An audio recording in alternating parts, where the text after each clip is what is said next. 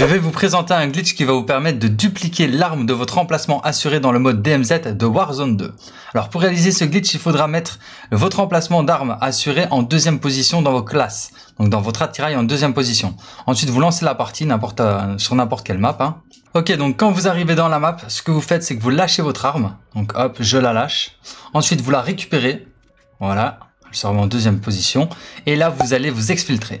Donc là, regardez, je suis en train de m'exfiltrer et j'ai toujours ma mini-bac en deuxième emplacement. Voilà, je suis de retour dans le lobby. Là, je vais dans armes et regardez, ma mini-bac s'est transformée en arme de contrebande. Donc, quand je vais dans mes armes, vous pouvez voir que j'en ai trois. J'ai déjà une mini-bac ici. Donc là, regardez, je fais retirer et là, j'ai deux mini-bacs.